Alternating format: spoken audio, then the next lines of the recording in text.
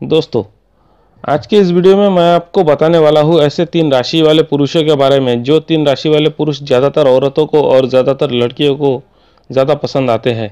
और दोस्तों, इन तीन राशि वाले पुरुषों के तरफ़ लगातार औरतें आकर्षित होती है। दोस्तों, मैं आपको बताना चाहूँगा कि आज का वीडियो ज्योतिष शास्त्र के ऊपर आधारित है।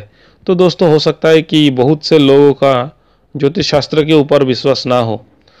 और मैं आपको यह भी बता दूँ कि आज मैं जो आपको वीडियो में बताने वाला हूँ, वो हंड्रेड परसेंट सच है, ऐसा बिल्कुल भी नहीं कहूँगा। जो ज्योतिष शास्त्र में लिखा है, वही मैं आपको बताने वाला हूँ।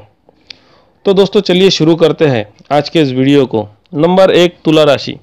दोस्तों, भारतीय ज्योतिष शास्त्र के अनुसार ऐसा बोला जाता है कि जो पुरुष या जो लड़के तुला राशि के होते हैं, उनकी तरफ़ ज़्यादातर औरतें और ज़्यादातर लड़की आकर्षित होती है।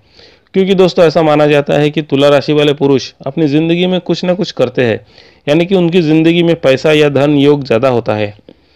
और ऐसे भी बोला जाता है कि तुला राशि वाले पुरुष अपनी ज़िंदगी में ज़्यादा से ज़्यादा पैसा कमा सकते हैं। ज्योतिष शास्त्र के अनुसार जिन जिन पुरुषों की राशि तुला राशि होती है, और वह पुरुष अपनी ज़िंदगी में अगर मेहनती होता है तो उसकी किस्मत ज़्यादा, ज़्यादातर उसका साथ देती है, जिस कारण से वह पुरुष अपने जीवन में सफल होता है। तुला राशि वाले पुरुष अपनी ज़िंदगी में ज़्यादा से ज़्यादा पैसे कमाते हैं, इसलिए ज़्यादा से ज़्यादा औरतें उनकी तरफ़ आकर्षित होती है। नंबर दो, कन्या राशि। दोस्तों, भारतीय ज्योतिष शास्त्र के अनुसार ऐसे, ऐसा बोला जाता है कि जिन जिन पुरुषों की राशि कन्या होती है, उनकी तरफ़ ज़्यादातर औरतें और ज़्यादातर लड़की आकर्षित होती है। क्योंकि दोस्तों ज्योतिष शास्त्र के अनुसार जिन जिन पुरुषों की राशि कन्या होती है तो उनका स्वभाव, उनका बिहेवियर बाकी लोगों से ज़्यादा अच्छा होता है। यानी कि कन्या राशि वाले पुरुष ज़्यादातर स्वभाव के साथ, स्वभाव के साथ सभ्य इनोसेंट होते हैं। वो कभी भी लोगों से झगड़ा या मारपीट गाली गलौज बिल्कुल भी नहीं करते। और दोस्तों, ज़्यादातर औरतों को जिन पुरुषों का स्वभाव सभ्य होता है, ऐसे पुरुष ही ज़्यादातर पसंद आते हैं। इसलिए जिन जिन पुरुषों की राशि कन्या होती है उनको उनकी तरफ़ ज़्यादातर औरतें आकर्षित करती है।